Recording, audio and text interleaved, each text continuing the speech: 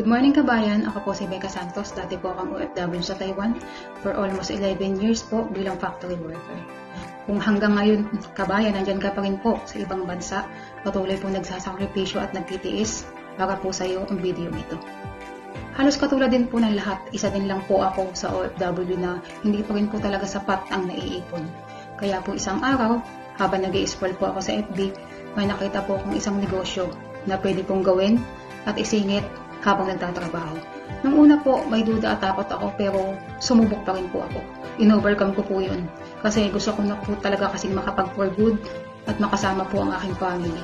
Kaya laking pasasalamat ko po talaga nang nakita ko po at sinubukan ang negosyong ito. Kasi hindi na po ako bumalik sa ibang bansa, para po maging OFW ulit.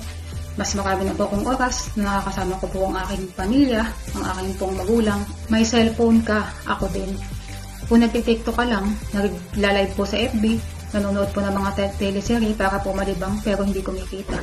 Kami po nagpo-post din po sa FB pero kumikita po at nagagawa po ang negosyo kahit po sa cellphone lang. Kagaya mo din lang po ako dati. nag scroll po ako sa FB, nakita ko po ang negosyong ito, buti na lang po hindi ko binaliwala. Malaki na po talaga na itulong sa akin ng negosyong ito. Kasi po, dumarating po yung time na nangangailangan po ako at nagigipit, meron po akong nai-encash. Sumubok lang din po ako dati. Ngayon, yung, ito yung income ko, inabot na po siya na 189,540. Isa lang po ako sa napakarami na pong natulungan ng negosyong ito.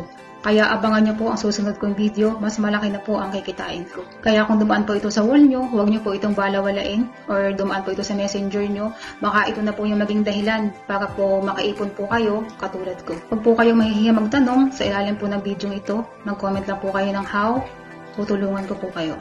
Ah, hanggang sa muli po, maraming salamat. Ako po si Becca Santos. God bless po sa ating lahat.